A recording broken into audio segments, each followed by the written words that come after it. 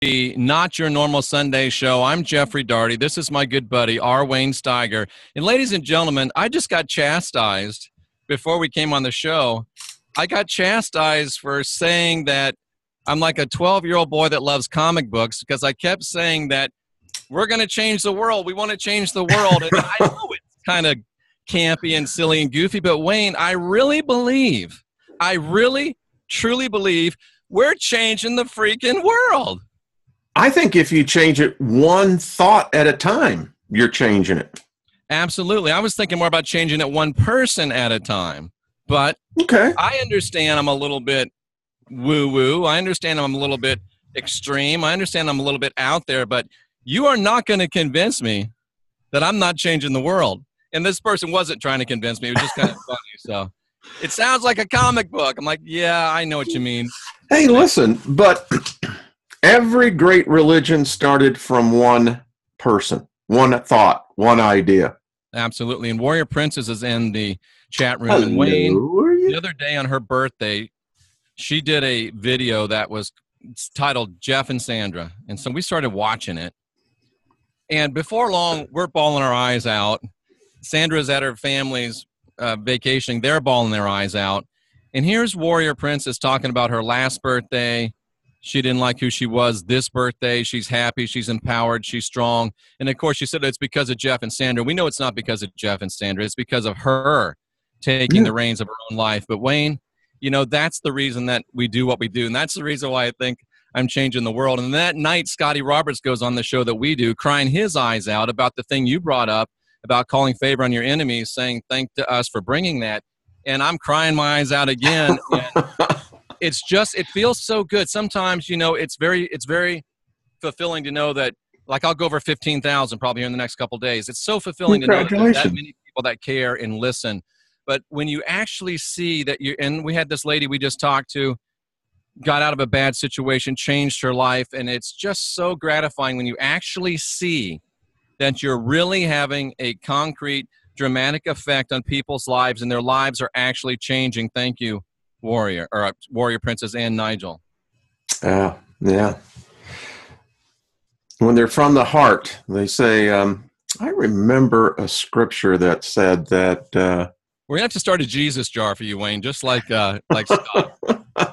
You got to put in the kitty every time you say Jesus. Yeah, yeah. It's like you know, I remember a time of the tears. The tears are tears of the heart are, um, and I don't know this, but it'd be interesting to do it to see if there's a chemical difference between those tears and let's say a tears of pain, tears that are manufactured be something. I guarantee at. you, there's a difference, Wayne. I'll bet you there's a an alchemical difference between sad tears and happy tears. I'll guarantee there is. I, yeah. I'd, I'd put money on it. I, I, I would I, I would tend to agree with you on that, Jeff. It would make sense. And hello to the beautiful Sandra D, who's in the chat room. Hello, Sandra D. Hello, everyone. How and are yeah, you? I want to grow vegetables. I don't want to grow anything else. And hydroponic, I believe, and Wayne can correct me, is how to grow vegetables in water in limited spaces. So that's what I was talking about. And it got off to another description, another whole genre, Wayne, that I had no plans of doing it. Did you say you got off um, onto an exit that you weren't even anticipating? yeah, we, we took the wrong exit. Oh, listen to this one. You'll love this from Nigel. I can't think. I can't believe I didn't think of this, Wayne. It says Jesus is the way, the truth, and the lie. Just one F short. I love that. That might be on a t-shirt. That's good. I like or aquaponic. That. Maybe is the right word instead of hydroponic. Well, that's that's really the future of farming. Um, you know, the elites know this. Uh, I know in Silicon Valley, there's lots of investment money going into that because it gives you a controlled, sealed environment, not right. depending um, on nature's resources. It's pretty amazing, though, to think that you can grow in water and it will give you all the things that the soil will give you. And in fact, with the depleted soils that we have now, it's probably far better. Mm-hmm. Yeah, I mean, you know, I was talking Friday night to uh, Doc Ram on my channel, and the fact is, is that the UV radiation up here has gotten so bad that it's very difficult to grow certain plants now um, outside. Absolutely. And what people don't realize is, I mean, you can go to the grocery store and you can buy what's called organic broccoli, for example.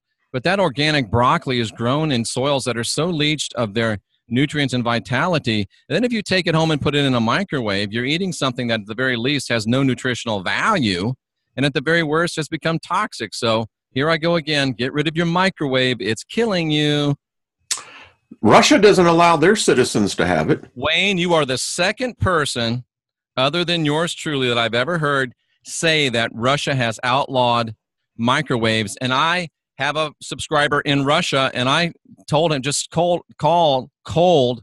I texted him or whatever you do on tweet. I tweeted him, I guess, on Twitter, and he said, "Oh yeah, they're illegal. You can't buy them, and if a restaurant has them, they they are taken out and uh, and destroyed. You cannot have."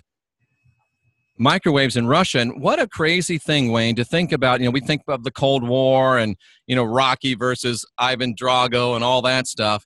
And today, today, and I remember Billy Graham said this a while back, and I'm not a fan of Billy Graham, but he got in a lot of trouble. He said it, and it looks to be true that Russia is now more of an awakened free country than the United States of America. Red pill, blue pill. And talking about making changes in people's lives, Gary Baxter said he threw his microwave out due to due to me over a year ago. Well, you made the decision to throw it out. Can I share a funny story, Wayne, about that? Sure. So right on the right at the end, when I was preaching, I was preaching a big um, nationwide meeting for the Seventh Day Pentecostal Assemblies, and it was in Idaho. That sounds right like a partying group. Oh, it was great, and it was on this river. And I was preaching one night, and I got onto the um, TV thing. You know, HBO was Hell's box office, Cinemax, SINemax. You know, the cable coming into your living room is like a a sewer line coming into your cable, you know, wet sewage on your floor. Yeah. And I said, if I were you, I'd take my TV and throw it in the river. And I, they'd, they'd rented me a nice RV to stay in. So the next morning, I get this knock on the door. And here's this game warden. And he says, I'm looking for Reverend Darty. I'm like, oh, that's me. He goes, sir, I j- it wasn't a game warden. It was a, uh, what do they call the park ranger guys? Yeah. And he says, Mr. Darty, could you please not tell your followers to throw their TVs in the river because we fished out about 15 TVs out of the river. I didn't mean uh, throw it in the river, really. But people are so silly, and, it, and it, it's it's scary sometimes the power of suggestion of someone that's just because they're standing behind a pulpit, wiping their own sweat off and anointing people with it, doesn't mean they're right. God, you know, I think I, Wayne just shook his head in disgust at me. Really no, no, it's it's the what amazes me is to see exactly that how people react. You know, this past 168 hours was a week of discovery. And so here's the thing, it's odd. So when you talk about this whole thing by people following what you say is the reason why they're following you is that they thought that you had a connection to God that they didn't have. Right. And that you were getting somehow messages from God that they were seeking. You know, it's very interesting. I wonder what made him think that, Wayne.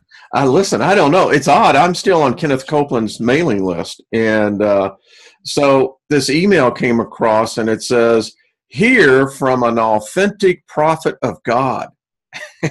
Was it Kenneth? yeah, yeah, yeah. And I'm going, wow, you know, there was a time I'd have bought that hook, line, and sinker. Let's oh, go, Jack. I'm going to hear the Lord speak. you know how you can tell that Kenneth is a, a an authentic prophet of God? How's that? Because he has multiple jets. Oh, and we're not talking. Listen, I helped him buy that first Citation 10. Shame on you. No shit. Excuse me. I was sitting in San Jose Airport watching, waiting, waiting for a United flight to get back to Denver. And I watched this because in San Jose is where all Zuckerberg, all of them are that. Um, and this new Citation 10 pulling out. And I'm looking at myself, waiting to board, and I'm going, you know, I helped buy one of those. I should at least get one free ride on I it. should at least get one free ride. If somebody asked me, Jeff, do you know if any of your old uh, church people ever watch you. I don't know. You know, when you come into the church, they give you the right hand of fellowship. On the way out, I got the left foot of fellowship. So yeah. I don't think many people watch me. Um, I did. It's funny. I saw a guy that I was very close with, started a church with on, on YouTube, and I wrote him. I'm like, "Hey, brother, nice to see you. How you doing?" And I got back a message that says, "I am not your brother. Please do not contact me ever again." If we were Whoa. tight. Not feeling the love in the room. no, no, no. I wasn't feeling the love at all. Wayne, let me ask you a question. Sure. I know that you're very big on the Sumerian Sumerian tablets. What if I respond to this postulation?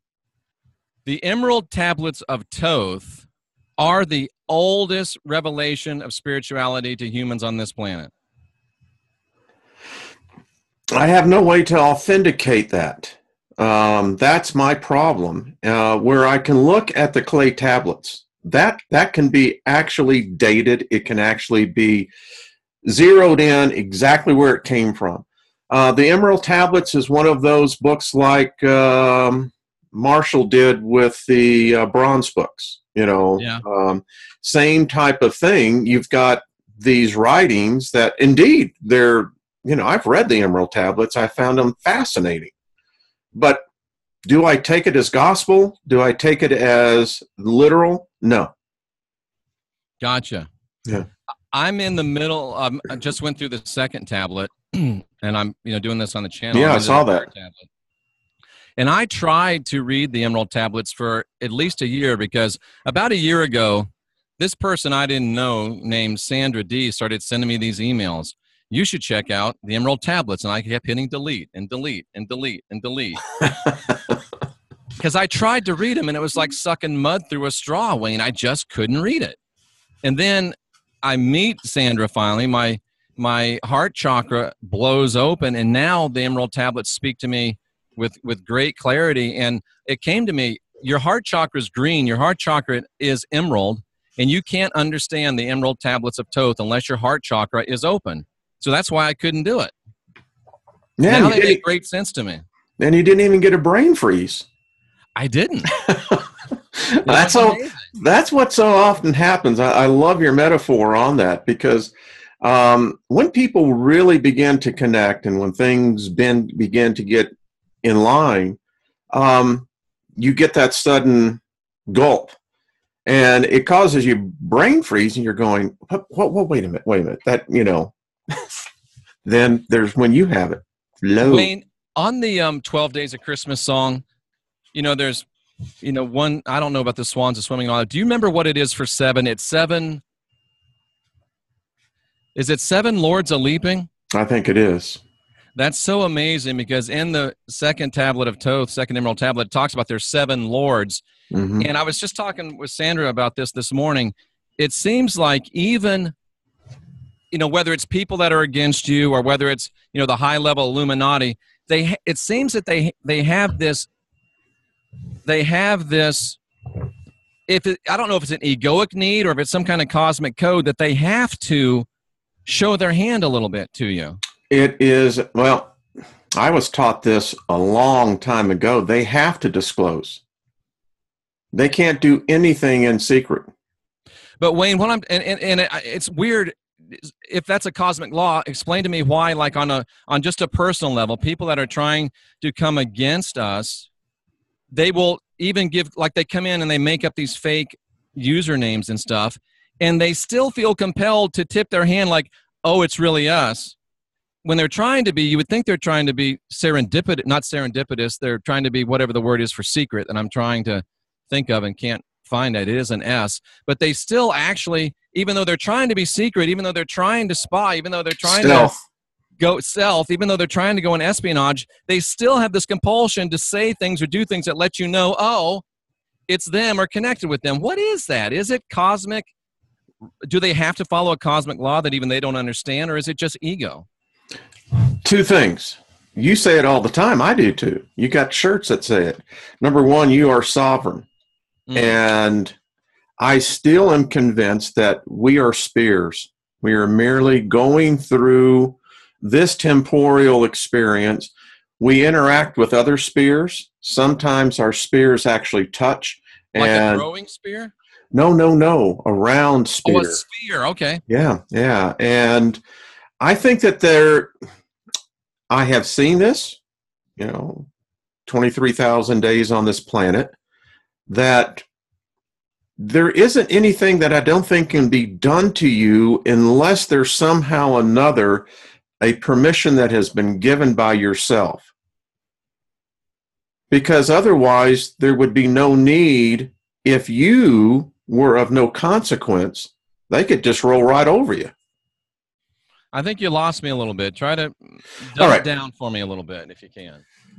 You are a sovereign spear. Right? You are, in fact, uh, as I keep meditating on this, it's it's always been in front of us. I am.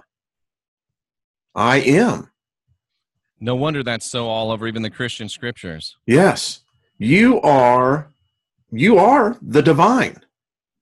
Absolutely. All right. So when people come against us, and like you said, they have to tip their hand, they can't do it in a way that violates your sovereignty. Now, here's the thing let's say someone does a video about you, me, whatever. That never happens. Wayne. Never happens. and they they just start making all these wild accusations. Well, two things are going to happen. Number one, you give it permission by allowing it to dwell up here. Mm. If you reject it and say, doesn't matter anyway, I'm going to go on, then it's been rebuffed. And it frees you. I mean, when I was does. sitting there like, oh, I'm going to get that. I'm Mhm. just, I'm, you know, ah, I got to. And you start calling favor as you instructed me last week. You just start calling favor, and it's an instantaneous change in your frequency. It's an instantaneous change in where you're living and where you're vibrating. Instead of down here, now you're way up here. And I've been trying to tell people, I get these emails, well, what if it doesn't work? You, you're missing the point. It's not for the person that is that you're calling favor upon. It's for you. And if you're in, yeah, if you're in the high frequency, if you're in the high resonance, whatever they say doesn't harm you. And Wayne, I, I got a further revelation on it because you remember the old I'm rubber, you're glue, whatever you say bounces off me. and sticks on you. But we don't want that because I don't want to be a, you know, putting myself in a shield.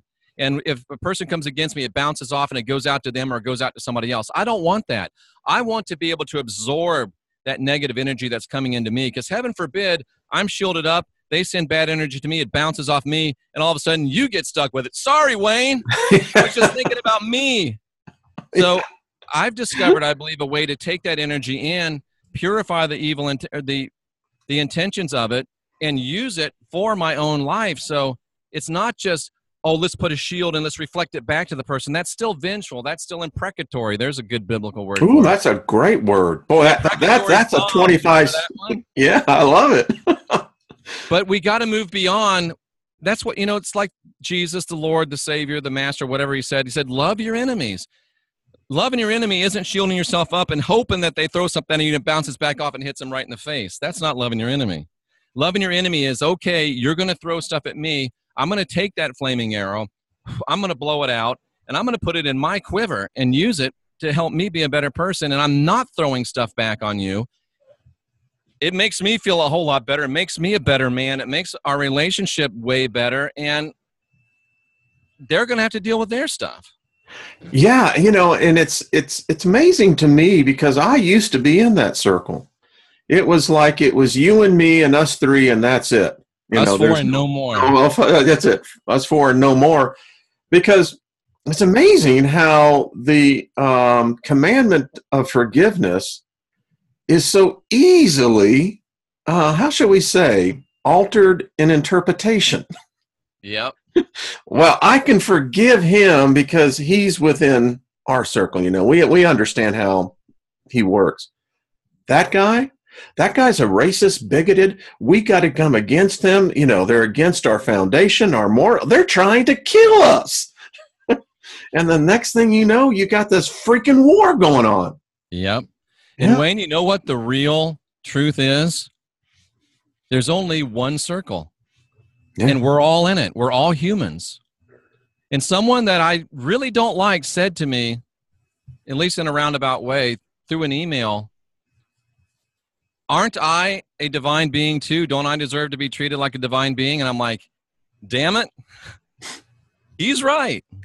Yeah. He is a divine being. He does deserve to be treated like a divine being. That doesn't mean you let people push you over or run over you, but you still give them the favor that they deserve as a divine being while still maintaining your own personal integrity and standards. But so let, there's one circle, Wayne. We're all human. We're all in it. So let me tell you how what you just said has been, and I think one of the veins of the problem. This is a great show, by the way. It is. You know, I think people want to listen to it. anyway, when we say, I am a divine being, the question that comes to me is okay, so now we have to define divine because my my core image of divinity has been basically molded by the religion indoctrination I was in. Yep. And then this leads to the following, and I'll, I'll throw this at you because you are the 20, 20 years as a Pentecostal preacher. And I mean, oh, yeah, that and $5 will get you some coffee somewhere. See, and I'm going to tell you what, well, you know, as far as I'm concerned, the Pentecostals are like the hardcore. We were the Jesuits. Yeah, yeah, ain't no, no kidding. It's serious. So we say we're divine. So divine means divinity. Divinity means that it is the one uh, connected to the one. But what I can't understand, because here's what my interpretation or impression has been of divine God. First of all, God apparently needs worshipers. Listen, follow me on this. I'm with you. Second, he seems or it seems to need religion. Yep. I don't understand why it would need an army or angels. And how many songs are there written about the army of God, like a mighty army moves the church of God? This is this is supposed to be God, but the point is is this is what we form our at least I'm speaking for moi that that is what I begin to interpret divinity. What divinity means, I am God. I am equal with God. There was a song I remember back in the church that says, you know, I'm a friend of God. God is a friend of mine. Um, what a friend we have in Jesus, or something some, like that. Yeah, and it's got they've got a new version. It's very it's very hip, by the way. And yeah. so then it comes back to this whole question: if divinity, what does divine mean? And you know what, Wayne? I came to a, a huge revelation about a year ago. Anything that's really anything that wants worship is not a real God. Bingo. How can it be? How can it be? Worship is all about ego. Isn't it? Isn't it? 100% the- about ego. And if there is a, if you believe there is a God, and I do, God cannot be ego. He, he, she, it, they has to be the opposite of ego. So anything that wants worship, and especially anything that demands worship, is not a God. There's no ambiguity about that. I mean, you know, that is ego. That's a that's a huge revelation. That part just came to me about the ego. Do you imagine the ego it has to take to say, bow down and worship me? Or how about or this? else? Bow down or worship me, or I'm going to throw you in a lake of fire. And oh, you'll oh, yeah, like that's a choice. Wayne, there's three billion people on Earth that believe that and believe that it's right. A yeah. lake of fire, Wayne. Oh, I mean, of fire. Do you understand a lake of fire? Again, that gets into this whole question I had. You know, I had I did a, a video called "A Few Questions About the Other Side," And I'm going, please explain to me how a spirit can feel. If it doesn't have a brain, if what's what's the uh go ahead. Fire. Yeah. Uh, just keep talking. Yeah.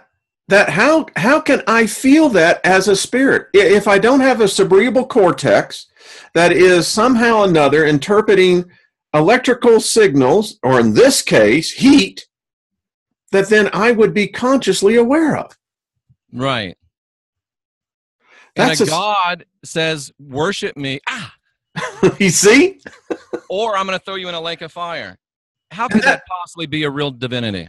No, that's crazy. It, it's So why do so many people believe it, Wayne? Why is there three billion people that say Jesus is their Lord and Savior, and He's a, a God that's going to throw you in a lake of fire? because they took the red pill, man. And they justify it by saying, "Oh, only if you don't agree with Him." Well, what if I'm? What if I went to Sandra? Or you went to? Oh, what is your wife's name? Let me remember. Lynn, Ah, I was trying to remember. Yeah. Or what if you went to Lynn, or I went to Sandra and said, "I'm in charge here. You've got to do this or else." How would that go in your house, Wayne? I'd be sleeping outside, man. What are you talking about? It would go the same way for me. But yet we accept this God that does it to all of us. And then the contradiction of it is, I can tell you, go to Isaiah 50 45, and it says, Let us argue with one another. And the strange thing, it says, Remind me of your merits. Mm. Now, I'll give more credence to the book of Isaiah, being that you can trace that puppy. We, we, we get where that one's coming from. And so I'm thinking about this God. You know, so it's Hebraic God, but all right, I can dig that. And uh, although at one point in time, I'm doing a program on uh, Tutmos. Yeah. And um, whether it's Hebraic or Egyptian, doesn't matter. It says, come and argue with me. And that I find intellectually stimulating. I agree. And You know. think about your relationship with uh, with Lynn. Oh, my yeah. relationship with Sandra. Yeah. Just this morning, you know, the whole um, quit saying that we're going to change the world. It's comic bookish. I really like that. It resonates with me, but she says it doesn't sound professional. It sounds kind of silly. And I had to sit back and realize, you know what? She's right. And I bet there's, I bet there, I bet you could count on how long you been married to Lynn. We're coming up on our seventh anniversary. So I bet in the seven, how long have you known her? Uh, Lynn and I actually met through a Christian online dating service. Was it um, the one that Neil Clark Warren started, eHarmony? No, Mingle, I think. Okay, I actually did a, a, a I did a, a revival with him when he was starting eHarmony. But anyway, so you've known her for how many years? Um, going on close to nine. I will bet that in the nine years that you've known Lynn, that there's you can count on one hand the times that you disagreed with her intuition, and I'll bet if you have, every time you did it, you were wrong. Yeah, I yeah. Yeah, I have great respect for this. This is a wise soul. With Sandra, we haven't been together nine years, but we're gonna be, and far more than that, obviously. But I know by who she is and by what I see in her spiritually, if she says, Jeff, I really feel that the sky is lavender and I'm looking at it's blue, I'm going to say, okay, baby, you're right. We're going to go with it because her intuition is freaking amazing. And women are like that because they they're all about the moon. The moon is about intuition, and she just knows stuff, Wayne, that you and I had to study into for 20 years. Yeah. I think so that's listen the to your gift. woman, and if you can't listen to your woman, you're with the wrong one. And I hope that you're not married for 20 years, but you know what I'm saying. Yeah. That's what I love about when you actually connect. You know, there there's a communication that you don't even have to speak words. That's the truth. All So- it takes is you know that old song, "Just One Look." That's all it took. Just I one understand look. that very, very, very, very clearly now. Well, I, uh, I'm just going to show this real quick. I'm doing a lot of research, and I thought that this one was really interesting when we're talking about God, religion, and where we get these concepts from. So, right now, the earliest records that we have are these three Sumerian, Egyptian, and Aboriginal. Yeah, the earliest verifiable Yeah. written record. Yeah. These two we can verify. This one here Mhm. is supposed to be. Then we get the Akkadian, the Babylonian. Then we get Hindu. Now, this is really interesting. So that's about 2000 BC. Then after that, we get the Hittite, Greek, then the Hebrew. And even the Hebrew is subjective as to when it actually came in, because oddly enough, there's a lot of controversy about this 500 year period, which and Zoroastrian came in right about that time too. And isn't it funny that the Hebrews went around trying to destroy all them other dudes that were before them? Ain't that a fact? oh, it's the promised land. God gave us a promised land. Only one problem. Somebody already there. Yeah, and if you lived it, uh oh.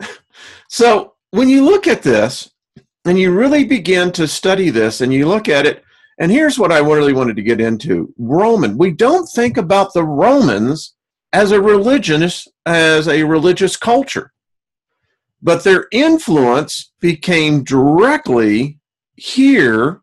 Yep. Some 500 years later. You know, Wayne, the fact of the matter is that, and I know this from my know, associate's degree in anthropology, humans have had the cultural capacity for religion for about 50,000 years. About 50,000 And why is that? that? That's a question I actually had, oddly enough. You Well, let me go past that to this other point first, and we'll go back to that. We've had the capacity for the cultural capacity for religion for about 50,000 years. 50,000 years. Christianity is 2,000 years old. Yeah. Christianity is a Johnny come lately religiously, and it has influence way out of proportion. And do you really think that you can discount 48,000 years of human religious culture because the rich white guys decided they were going to push now there there let us just talk about this because that is actually brutally honest christianity is a white man's religion a rich white man's religion. Yeah, and and I, am not being racist and I'm being bigoted. I, I'm just simply stating a fact. It was started by a white man, and it is still controlled by a white man. And we're talking about Paul. And and and by the way, no matter how you slice it and dice it, folks, most people's perception of God is white. Absolutely, he looks like uh, Charlton Heston. What, what the freak is that? And if anything, what, he's black. And guess what, Wayne? It reminds me of Monty Python. It's good to be the king. In Christianity, it's good to be the man because you get to tell a woman what to do, where to do, how to do, when to do. A woman was created just for your sexual pleasure. She's supposed to be in the kitchen making you a sandwich. You there you go. And owner because it's for her own good, though. Because if she doesn't have a man ruling her, she's going to be having sex with all these spirits and angels. They really believe, and they said it wasn't man that sinned; it was the woman. It's her fault, ladies. Why are you still going to Christian churches? Wake up and smell the bacon. Quit making that BLT and go live divine, sovereign, and free. Yeah, yeah. I, I listen. I am a firm believer. If you look at the ancient cultures, and the really odd thing is, is up until the time monotheism came in with um, the first pharaoh, um, and when you look at the cultures, the societies that were run by the female um, dominating thought, the matriarchies, the matriarchs, they were they were flourishing societies. They were. And Think about that. Yeah. Because with the feminine in rule, wars are less likely. Intellect. Isn't that true? Isn't it?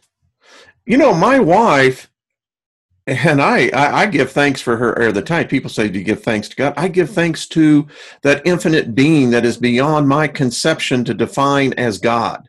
The inexpressible ones are what yes. I call them. Yeah.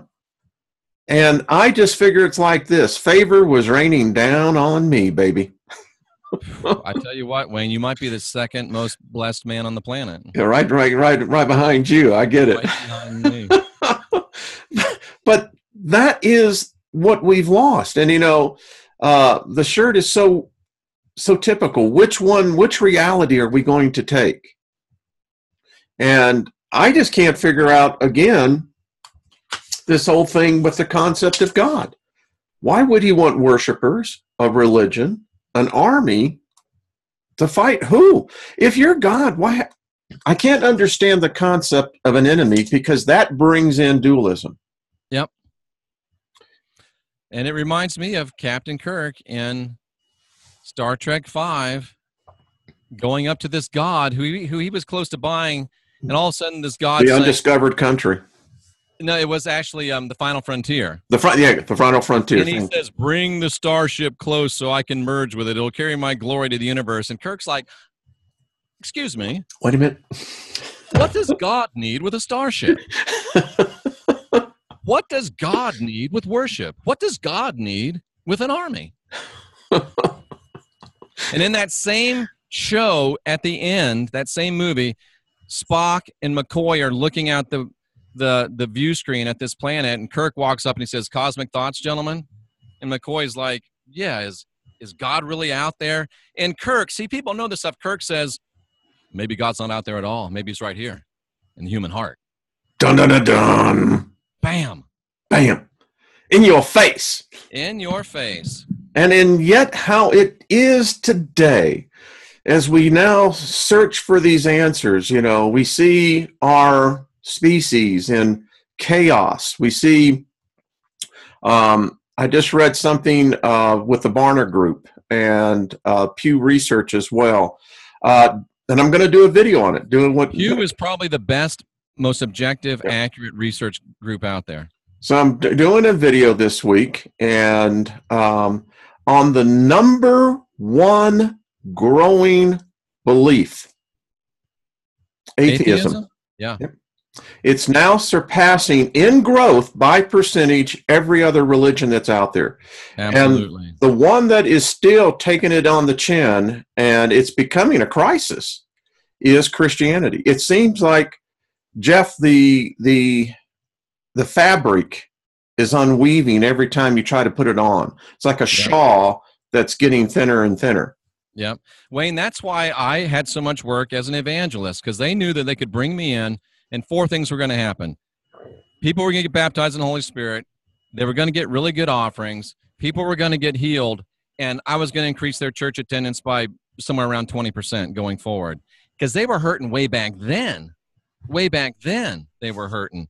But Wayne, I think, and somebody said this to me, my my friend Dr. Andy Toltek, and Wayne, I really don't know because I never met him face to face, never actually saw him saw a picture of him. I don't know if he was an astral ally or if he was a real person. I talked to him on the phone. I know that sounds weird, but he told me that um, atheism is often a requisite stopover for people that have been indoctrinated by human religion before they can get from indoctrination to true enlightenment. It takes a time in atheism for you to figure out, oh, it's not God that I don't believe in, it's religion I don't believe in. That's what it is someone asked me, well, Wayne, what would you classify? And I said, well, if you got to put a label, I am more anti theist. Yeah. I defy labels. I will not label myself. Yeah. I said, you know, if you're going to have to put me into a box, then, you know, it would be anti theist because. Yeah. That's perfectly stated. Yeah. Uh, and you know what I have found, and it's it's interesting we're talking about this. My mornings when I wake up, I used to wake up in um, the feeling as an indentured servant. Yes. And now I wake up a free mind. Paul even says, "Thank, be thankful that you're slaves." And the word in Greek is slaves. Slaves. Who wants to be a slave? Who wants what kind to of a do God that? has slaves? What kind of a God demands worship? What kind of a God needs an army? What does God need with a starship? Wayne, I have a question that. for you. I have a question for you. Emerald tablets of Thoth, I'm very into them. They really resonate with me. And Thoth talks about inside the earth, the halls of Amenti. The halls of Amenti, the seven Elohim are there. I don't know if they're physically there or they're there just, you know, as their presence is there. And they're there by this river of life that they're able to alter, stop. I believe that he's saying that in the center of the earth, they have learned, and we're going to learn how to step out of time and be renewed and be refreshed. We learn how to live outside of time. Now, from your scientific knowledge and, you know, talking with uh, Dr. What's the lady's name you talk about? Oh, Dr. Albers. Dr. Albers.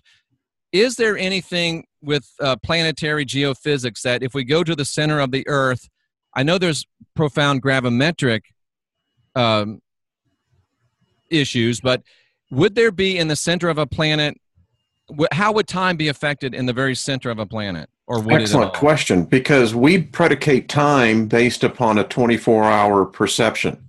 Right. And that's the first illusion that has to be uh, eviscerated. Time is not by a minute or by a second. Time is by a linear energy flow. Wow.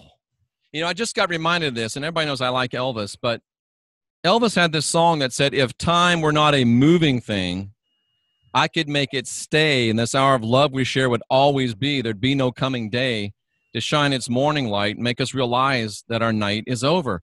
We can do that. It, the, the human soul longs to move outside of time. And Wayne, I think we can, but is it a natural phenomenon in the center of a planet that time would stop? Yes, I, I would recommend you a book called Etidorhpa. I'll send it to you. Oh, okay. And it will it will expand your horizons about the earth. So I'll just give you the short and the skinny of it. Please. Perfect energy, zero energy, is a place where there is motionless. Mm. Thought is a vibration and an opposing force. And perfect peace means perfect stillness. It does, doesn't it? It does. And you know, even the word biblically means perfect peace because nothing is broken, nothing is lacking. Right. And there is a place in consciousness where the zero point, as Sandra just said, it's the zero point. It's the zero. It's it's absolutely no thought, no movement, no nothing. And the only thing that disturbs it is when another thought moves in, and then the ripples do exactly that. So there is a thought that within the earth there is the what we call the master caretakers yeah they are the ones who always have been there they're the ones who keep the records and this is a portal the deeper you go the more the surface no longer applies in laws of physics laws of logic or laws of understanding my goosebumps have goosebumps wayne it's it's it's profound when you begin to understand it. And the story goes is the man who is, the in you the character you learn is the man who started it all. And as he's going down, he realizes. And by the way, the cave entrance is in um, uh, Western Kentucky. And you know, Thoth said that there was a portal underneath the Great Pyramid. Yes, so the so thought is, ent- can we go to that cave entrance? They say, yeah, yeah. Sounds like it's, a road trip. Well, it's Mammoth Caves. Really? Yes. Oh. They don't let you in the back. It wow. goes down, down, down. And how many people know this, Wayne? There's a whole society that knows about this. Um, I started doing a video series on the secret societies. I got a uh, a warning to back off, so I said, okay, you know, I can dig that. There there is a knowledge that is held uh, by the races that um, you know, I think it's profound. And you can understand why they try to keep it from us, Wayne. Sure. Because yeah. if there's a place that we can go to where we can step outside of time and where we can move into our full divinity. And, and the thing about the tablets is it says that we have to spend 100 years in incarnation. And at the end of that 100 years, we get the choice to decide not if we're going to help others, but how we're going to be of service to others. And the last thing that the powers that be want is people to, number one, get themselves divine, sovereign, and free. Number two, it would be that they would want us to be divine, sovereign, and free and helpful to others. They want yeah. us to keep us at each other's throats. And and when they do that, that creates a force and energy that unfortunately today is being fed by us. Wayne, we create the force field that keeps us from entering into our total divinity sovereignty. One day we're going to figure this out as a species, you know, and, and that kind of brings up in the sidetrack. I want to continue on the earth, but that day is coming. But here's the thing that I had wrote. Um, why has God stopped writing? When you think about it, supposing the last thing we heard from this character was over 2,000 years ago. How can a 21st century mind have anything in relationship to a first century mind? And would not a God understand that our needs would be far different than someone 2,000 years ago? Anyway. You know, um, Wayne, I was on Coast to Coast AM and I said to George, George said to me, George Noory, Jeffrey, why do so many people have such false perceptions about the Bible and the book of Revelation in general? I'm like, well, George, it's simple. The book of Revelation was written by a guy walking down a dusty road riding on the back of a camel. Today, we're driving down the road in smart cars, holding smartphones connected to the universe, and we still refuse to look through a 21st century lens at the writings of the first century and we're still thinking like we're on the back of a donkey walking down a dusty road. Yeah that, that's the insanity of this. It is so stupid. I know sophia doesn't like me to use the word stupid but like the great american philosopher forrest gump said stupid is as stupid does and sometimes there's just no other word. And unfortunately ron white says it's very hard to fix stupid. Well we could say imbecile we could say weak-minded. We could say so to finish the uh, the story on the book of Etidorhpa which is um, uh, aphrodite aphrodite excuse aphrodite, me. Aphrodite yes. Yeah so it's her name spelled backwards. Oh okay. And and so as he continues to descend down, he goes through a place where there are statutes. And these are the souls that got lost into their evil. They became so trapped by their own reality that this is where they are. They stay there until they say, until time that they begin to see a different way. But as he continues to travel down, the thing that he noticed is that the darkness was light. You see, photons never stop.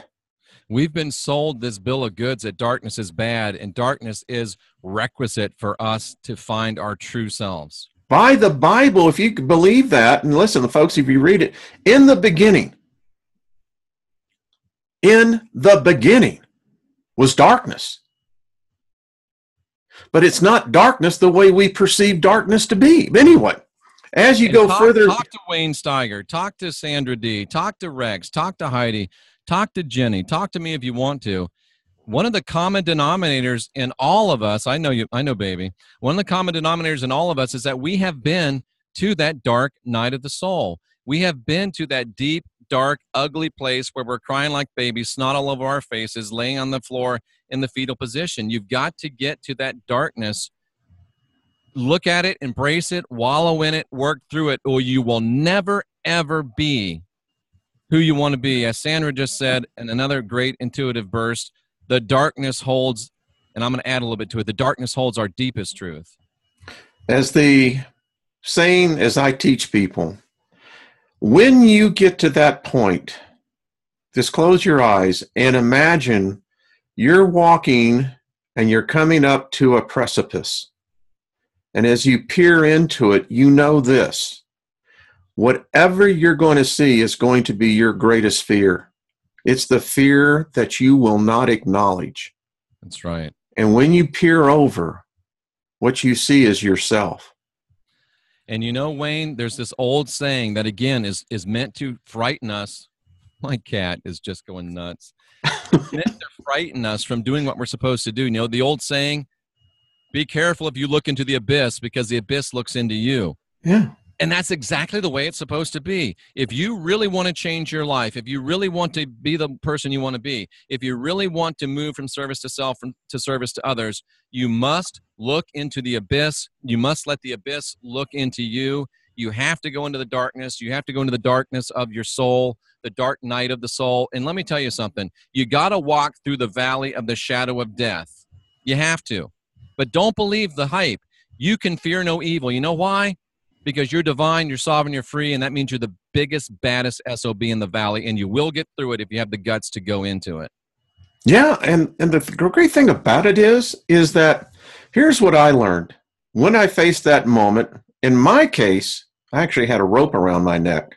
Wow. And when you face that thin line and you begin to look into it and you pierce it, when I began to and it took it took a while, but I began to find that I began to relish in my imperfection.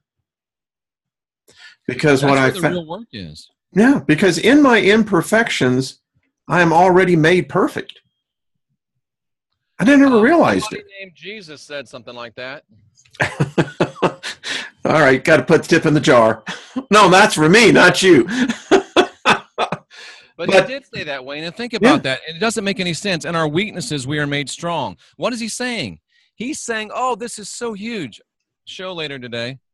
In our weakness, we're made strong. What's he saying, Wayne? He's saying is that you have to go to that dark night of the soul and work through it to be made strong. And the people that will not face their dark night of the soul will never be strong. They'll never be divine. They'll never be sovereign. They'll never be free and it, I reminded of another scripture where he said, if you fall on the rock, you're going to be crushed. It's going to be crushing to your ego to realize and to look at all that darkness in you and those things that are the dark night of the soul. But he said, if you don't fall on the rock, you're going to be ground to powder and you will blow away and exist in nothingness. So and is here, it going to hurt? Yeah. Is it going to be comfortable? No. Do you still hmm. have to do it if you want to be who you're supposed to be? Absolutely. There's no way around. The only way around is the way through. So here's what I learned there's no demon in hell, no devil that can bring any charge against me. No. I look at it and I said, so what? That's who I am. I am made perfect in my imperfections. Yep. And that's, I'll tell you, there's freedom in that. There's no spirit that can harm me. There's nothing that can touch this. And you know, Sanders asked the question, what does the Bible, the beginning of the Bible say again about darkness? And I'll take a little exception. I think if we read the whole thing, in the beginning, beginning, there was light, and it got turned into darkness by the actions of the being that was impersonating Yahweh. But your point still holds, Wayne, that at our beginning, the beginning of us, as entities and as beings on this planet, there was darkness initially. And that darkness is not understood by us at all. There's a story in the Bronze Books um, that I found interesting of the story of creation that the initial people that were here were born or created under a different light. Um, it is said to have been the light of Saturn. And we know and, that the light that we're in now is debilitating to our bodies. Boy, there's a story right there. I'm pointing to it. But where why I, does it feel so good to lay in the sun, Wayne? So energizing. Well, because it's it's that's that's the deception. Ah. There is a, a a source of energy from it. It's this that this one, this one has a little package it carries with it. So Sandra and I, loving you know being sun worshippers, and open season, Wayne. Do you think we're a little bit deceived? Well, I would be very cautious with this sun right now. This sun is it's dangerous. That's all I can say. When I was a kid, uh, we were poor. Uh, we had a, an acre garden. My brother and I got up at the sunrise. We we lived out in the Texas Gulf Plains, hot. Uh, we would weed that garden from sun up to sundown. And you know, we never got sunburnt, got great tans, was toad heads, you know, turned our hair was white, but the fact was the the sun wasn't harmful. This one here, it's uh, it's not good. In fact, it's interesting, Jeff. A little scientific fact for you. On Tuesday, on my birthday, in fact, um, here's the thing: the solar wind speed dropped to 200 million kilometers per second. It should. It's been low it should be about 350, not 200. So the sun is weak. That's a lot of radiation, my friend. Just make sure you're well covered. That's all. Yeah, I mean, we are in the sun yeah at least three hours a week and we love it and i feel energized i mean i'm fasting yesterday i was i'm in the fifth day of a fast and i was feeling a little low yesterday so i go out and I lay in the sun. I get my feet on the earth. I'm grounding, and I really felt very energized by it. But usually we'll stay out in the sun hour and a half or so. But I got to an hour and I began to feel weak and dizzy, and that was probably because of the fasting. But I have a real difficult. I have difficulty accepting this idea about the sun simulator. I have difficulty accepting this idea about the sun being bad when I do sun gazing and I go in the sun and I feel so energized, and Sandra feels so energized too. So it's a conundrum in my mind, Wayne. I, you know, I don't know. You know, I look at the satellite data. By the way, just want to share everyone. This is me in 1976. You're the one on the left, right? Yeah, I'm right here. I just wonder if there's another story that you hadn't told us. no, this was at a. I just I found this yesterday. Someone sent it to me, and uh, I just what thought year? I, uh, 1976. Well, your hair was even longer than mine, Wayne. I had Oh. some long hair, but I wasn't a hippie. I was a rock and roller, buddy. Dude, that's awesome. I was into country. Yeah, yeah. So, uh, you know, I can just tell you what the data is. Uh, these coronal holes, they're sending bad stuff to us. The the the gamma radiation that's hitting the Earth, we are. It's bad. I mean, we're we're we're getting increases now into the 14, 17 percent increases. That's not good. And the sun right now you, is in a weakened state. And so when it doesn't have that protection that it normally has up in the corona, that allows more heavy particles, radiation, to penetrate the earth. Your DNA, my DNA, is being impacted when these heavy uh, I, uh, I, ions hit us. And so just be careful. That You know, you, there's a there's a third UV radiation now that they're putting in the uh, the blocks. So if you didn't know Sandra and I like you do, would you tell us stay out of the sun? I'd say limit yourselves, but you know, you may have a genetic um, propensity to resist that. Yeah, I love it. Yeah. I, it's Um, something I struggle with a little bit. you know, I was out doing yard work yesterday and the sun actually was stinging my skin. It was exceptionally hot here yesterday as well, as I've already discussed. Yeah. And, you know, when we had uh, earlier this week, we had a cold front move through up here and I went out. And even in the day it only hit 71, the sun still stings Yeah. our skin. So, Shane says moderation, Jeff. Well, Sandra and I don't do moderation particularly well. You know what? I'm going to be just very candid. I don't think there's a whole lot of people who do. I mean that that is a that's a discipline to master. Um, frugalness is one thing, but uh, I don't know, Jeff. Here's what I keep on thinking. Charles Krauthammer passed away on Thursday. I, I Did you read enjoyed. his last his last Yes. column. Yes, I did. wasn't It was. I I truly loved that man. I loved his intellect, and um, we shared. had a chance to meet him when I was with Pat Buchanan, and he was a true gentleman. Yes, yes. Um, I love his ideology and how he wrote, uh, particularly in the views of society. hmm So I didn't know this, but Bret Baier, um, Yep. who's with Fox News. Fox News, Yeah, I've known Brett, and which I hate, but it's okay. Yeah, but I did not know this that Charles, in the last couple of years, became very focused in on death. Hmm. What did death really mean? What is the experience? What is it that we're truly doing? He asked the same questions that many of us do. How can a spirit go over and yet feel? How can it have a sense of perception of time?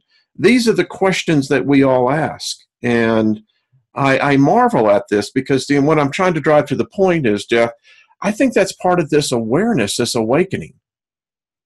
It's kind of when you reckon with the fact, and I mean, really do it. That's why I think most people buy the pacifism of religion, is that it allows you to push this off to where you don't have to deal with it. Well, I'm going to heaven. You know, it's like that stump that kid did uh, that they were doing with the YouTube, you know, where he had his girlfriend. He had an encyclopedia and shoot him with a 50 caliber gun. Now, of course, we know the result of that, but here's what he said. well, I'm prepared to meet Jesus, although he's probably going to reject me because of what I've lived. And I thought, ain't that the truth? Wayne Sanders says it's almost like we're in stasis here and death is the portal to what's real. Oh, how, how, Sandra, I'm going to tell you, this is interesting. Deeply profound because it's, that's exactly right. We're here. Can you read that? I am, I am trapped within my body, my mind. And my mind is. Is. Yep. I am convinced, Wayne, that we are spirits trapped in this soul, and we're here until we do the work that we've talked about. We will stay here, and you got to do the work. And once you do, you get to get out of this place. Can I share a thought with you? I shared this a Friday, and it it hit me. Jeff, last Wednesday, um, now I practice a form of meditation where it's not where it's it's a different type. I, I actually I can walk and not be walking. I don't know if that makes sense. Anyway, so I have been getting the strangest impressions of late. And I know our hour is up, but I'll just share this out. Well, we can keep going. Um, I get this distinct sense that I am going to meet myself when I pass through, cross over. I got this strange sense that I am witnessing outside what I'm living right now. There's more than one of us, Wayne. I'm convinced of it. Yeah. Yeah. I came to this thought the other day. I don't know what show I was doing, but you know, a lot of people have been talking to me about walk-ins and I'm just wondering and I you know, I pick 11 because I like 11. What if in all these quantum realities within you know 11 of them are in like a little group and there's 11 Jeffs and Waynes and Sandras and Elizabeths and Jerrys and Pierce and Think Simplys and Garys. And they're all, we all got each other's back. And if we're in one of our quantum realities and we start sagging and getting low, one of the strong ones will go in there and help you. Yeah. And it just seems like the, the, our higher self, and I'm almost ready to say our higher selves, we work as a team. I kind of crazy. No, because I, I I had a um I I had an out of body experience in the shower. Literally, I told you this. Water where I rushing over your body. Water's a great conduit. Yeah. So I uh, it was last November, and um, still remember it as though it was right now. I literally stepped through this thing we call death, it, and it's it's not death. It's it's literally a life life portal. And as I stepped through, there were people waiting for me. They didn't yeah. have physical bodies, but I knew that they were there. It's like they were expecting me. Now, here's the strange thing about it. When I stepped through, I had, which would be about the equivalency of this mouse, but it was a translucent white stone. Ah. And um, I went back. It was my place. I knew it was my place. Did the stone, as you look at that stone in your mind, did the stone have like striations in it, or was it perfectly clear? I bet it had striations. It had striations. It you was know what those were, brother. What? That's the record of your life or your lives. You were holding your own data core of all of the lives that you've lived and maybe will live. Wow. Okay. Ready for this? I was told that I won't be going through again. Um, that, but this is what I do. This is apparently what I do. And as I stepped into my I can only say it was a room, but there was a console, and on this console were other stones. Yeah. And I put this one down. Now here's the strange thing. Immediately, what only thing I can call it is a presence. And it started talking to me, and I remember this. Um, mm, my wife. And it was the essence of our love. Wayne, that's so powerful. That's so powerful. And Sandra and I, you know, we're drawn together by that. We've talked about this. And, you know, we don't want to be together just in this life. We want to be together throughout eternity. And I think that we have been together throughout eternity. I think you and Lynn have been together throughout eternity, and we're just finally getting ourselves squared away enough that we can get back to where we're supposed to be. Well, this is what the presence told me. Anytime I want to experience it, I can go and in- activate it. Absolutely. Here's the strange things, Jeff. There were many of these stones on this console. Were they all yours? Yes. Ah, that's I, Wayne. I've met other Jeffs in other quantum realities. I go to them and I ask for help. I ask for advice. Yeah. Halo Marquise, my buddy, he actually works with them, and he he says he'll get stuff done that he doesn't know how he got it done. He can only say and believe that it's his other selves and other dimensionalities working with them. And my great desire is to learn how to focus the energy and the effectiveness of all the me's into this particular timeline to exponentially increase my creativity and exponentially increase increase my ability to be of service to others. Well, that was my experience, and when I came back, I was colla- I was sitting in the shower just crying like a baby. I mean, it still wow. impacts me. How did me. you know if the shower was on you? How do you know you were crying? Because when I came out, I was just I I just uh, I went in. Yep. You know when it transcends the physical. You know, it's it's here. Here's another gem from Sandra. She says, "It sounds like collecting soul fragments." Hmm, could be. Could be. Could be. All I know is that I knew when I stepped through, it was very familiar. And when I came out, you know, I told Lynn, you know, the whole story because, you know, I love my wife. And um, it can be uh, powerful. Oh, it's just amazingly powerful. It's it's it's beyond powerful. It's I think my friend, you're tapping into the realities of reality. I mean, somebody said to Sandra and I on the chat that because we were talking about oh somebody said that it was on Santos Bonacci over on Heidi's channel. You should go watch yeah. that show. Santos said that, and you know that uh, we're not going to get into it, but you know that uh, Sandra had a profound experience with Lord Shiva and I wear this Lord Shiva medallion, and Lord Shiva on this is black. And Sandra saw Lord Shiva manifesting as black. And Santos said that, you know, everybody thinks Shiva is blue, but originally Shiva was always presented as black. And somebody said, well, Jeff, you and Sandra are actually tapping into real old school core spirituality. And that's what you're doing, my friend. Mm-hmm. It's profound. It really is. It's, um, and it just gives you a certain inner peace. I mean, it kind of just it's like okay, I can check that box off. I get it. Yeah. You know, now I can live the moment, and that's the that's the whole thing is learning how to live in the now. And Wayne, I've, you've mastered that. I can even tell by your speech because you know everybody says, and I'm going to start adopting this. Everybody says, "Well, I'm, you know, I'm 55 years old or whatever." But you're saying I've been here however many 23,000 days. 23,000 days. And doesn't that focus you on the day to day, the now, and make you realize the necessity and the gift of maximizing every single day? Don't think in terms of years, Mm-mm. think in terms of days. Because, like the old saying is, your, your life is not measured by the number of breaths you take, but it's measured by the number of moments that take your breath away. Yes. That's why, you know, we talked about last week. I love saying 168 hours. Better than seven days. Because yeah. now I can more further define that hour.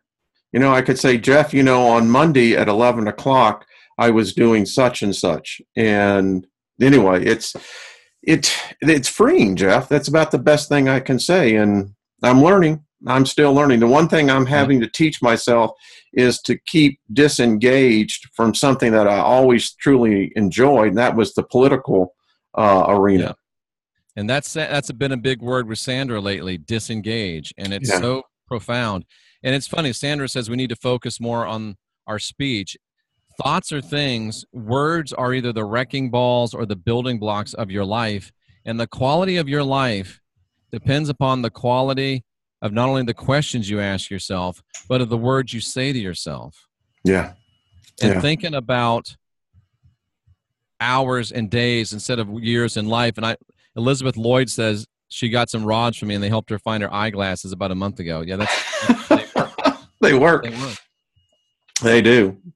Well, this has wow. been fun, brother. This has really this been has fun. been so yeah. good. I mean these these are just getting better and better. Yeah, yeah, I I look forward to them. I really do. Um, it's uh, it's it's one of the th- joys of life now. It's that there is a. I always look forward to the anticipated speaking that's coming through, and uh, yeah, yeah. Let me let me ask you one more question as we wrap up. Why sitting here day five of a fast, no food, you would think that I'd be running down. You think I would be low energy. You think I would be hungry. How is it possible that I'm extremely high energy, rocking and rolling, five days into a fast? What is it? Because your energy is not going to the physical part of breaking down food. The what was it? I did a video on this. To when we eat, it takes up over 82% of our core energy to simply wow. break the food down to turn it into energy. It's a very inefficient way. So, what I believe you're doing and you're mastering it is that you're learning now that the energy that you have is not necessarily necessary for the sustaining of calories. Your body is. Says, go, go ahead. ahead. No, go ahead. Sandra eats three to five meals a week. And she just said food has been made to block us. We can't digest more than four ounces of meat at a time. Wayne, you've hit on a huge truth. You and Sandra have been on this this uh, wavelength together, and I and I'm picking up on it. Food, and it, if you think about it logically, it makes perfect sense that food is one of the great blockages to our healthy lives and to our healthy spirituality because we eat all this food. I mean, think of how much food Americans eat. No. Next time you sit down to eat, look at your plate. You could feed a small village for a week with the food on your plate. That's only a little bit of uh, hyperbole. And you're slowing yourself down. I'm five days without a bite and I feel fantastic. I went 14 days, I'm going 11. Not only does it get you in great physical shape and help you be physically optimized, but you two are right. Food has been made to block us, and we've just got to stop eating so much of it. I said that the when I get to meet the uh, creator, you know, I already have met him, but I'm saying here the efficiencies of the Greys, you know, if you believe in the aliens, is the fact that I read in one document when they did uh, an examination on them, is that their skin has the ability to take all the nutrients, all the moisture in the environment that they are in. Now imagine yep. if you didn't have to do with the lungs, you didn't have to do with the stomach and everything else. Jeff, we would probably we wouldn't die. In Max Vision, as you said that, just said that restricted calorie diets extend your life, and it is proven. Gary just said something great.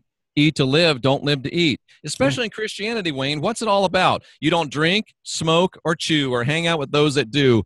But boy, you hit a buffet. You hit, I mean, I went out with R.W. Schambach on several occasions, and he's like, he's like, brother Jeff, just find us a buffet. I he would say it's time for a body ministry. I want to minister to myself. Take me to a buffet. We used to. Um, RW could stack a plate, brother. Let me tell you. He could. I, I went out dating with him a couple of times, and, and, it's so true. When we were up in the charismatic movement back there in the late seventies, he'd say, "Go give me one just like this." and you know, when the church would let out, because we'd start about eight o'clock and get out about two o'clock in the afternoon, the manager finally got hip to what was going on because he said, You know, the first time you folks came through here, you wiped us out. oh, I'll tell you what, Jeff, we're learning. We are. We are. We are. It's it's so funny. You know, so I, I tell people that actually all you need is one meal a day. That's all you, need, need, and you will feel better and you will look better, and that physical optimization will lead to spiritual optimization. Period. Yeah, you get to find that real battle, you know, how your body, that's why I talk to my body. I love my body and I speak to it now because you go into a fast the first time, your body's going to be talking to you. Is it not true? The first time I fasted for extended period, the first two days were really, really tough. And then I broke into another place. And this time, it's it hasn't been tough at all because I've you know I've, I've trained myself. Yeah. My body's like, okay, this guy's shutting us down. Hmm. We, there's no no no need to complain because he's going to do it. But even on a regular basis, a real basis, when we're eating, Wayne, um, Sandra and I fast fully on Tuesdays, Thursdays, and Sundays every week. We don't eat a bite on those days. The other days, and sometimes Saturday too. The other days we will eat one meal a day. So there's a reason why Sandra is between five two and five three, a 100 pounds, and the most beautiful thing that ever walked on earth.